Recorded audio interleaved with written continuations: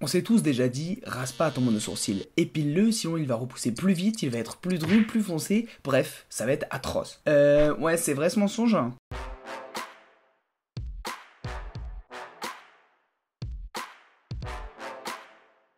Alors c'est un tout petit peu vrai, mais au final c'est surtout faux. Le poil, c'est deux parties. Une partie vivante, appelée la racine ou bulbe, qui produit une deuxième partie dite morte et qui est en fait le poil visible, constitué essentiellement de kératine, comme les ongles. Alors qu'advient-il de ces deux parties lors de l'épilation? Vs le rasage du poil Lors du rasage, on coupe juste la partie morte, c'est-à-dire la partie visible du poil, et lors de l'épilation, on arrache également le bulbe. Ce dernier doit donc être reconstruit par le follicule pileux afin de recréer un poil, ce qui laisse 2 à 4 semaines de tranquillité. Maintenant que l'on a expliqué le détail de différence de ces deux actions, exterminons successivement les mythes du rasage face à l'épilation.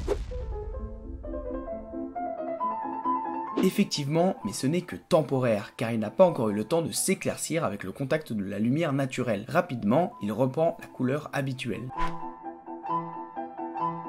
Il n'en est rien. Lorsque le poil est rasé, il perd une grande partie de sa longueur, tout en conservant la même largeur. Regardez, on a facilement l'impression qu'un homme en surpoids mesurant 1m60 est plus épais qu'un homme en surpoids d'1m90. Bref, quand le poil repousse, l'illusion se dissipe.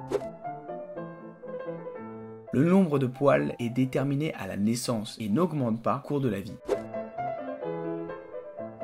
Imaginez deux coureurs qui vont à la même vitesse, mais l'un des deux part en avance. Il est évident qu'il arrivera avant l'autre au point d'arrivée. Eh bien, c'est la même chose pour les poils. Sachant que l'un est arraché beaucoup plus en profondeur que l'autre, ils ne partent pas du même point. Il est donc normal que le poil rasé réapparaisse plus vite. Bref, à terme, le rasage ne modifie pas la structure et l'apparence du poil. Comme le montre une étude réalisée en 1970 par les docteurs Yelva Linfield et Peter McWilliams et publiée dans le journal d'investigation dermatologie. Ils ont demandé à 5 jeunes hommes qui ne s'étaient jamais rasé les jambes auparavant de raser une jambe chaque semaine pendant plusieurs mois sans jamais toucher à l'autre. Aucune différence ne sera constatée chez aucun des sujets entre les deux jambes.